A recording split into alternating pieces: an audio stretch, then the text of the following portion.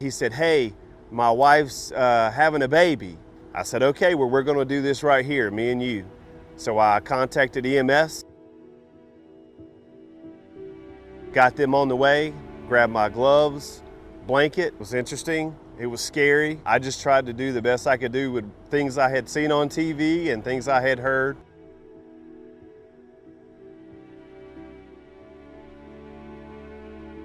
I just feel lucky and blessed to have been at the right place at the right time.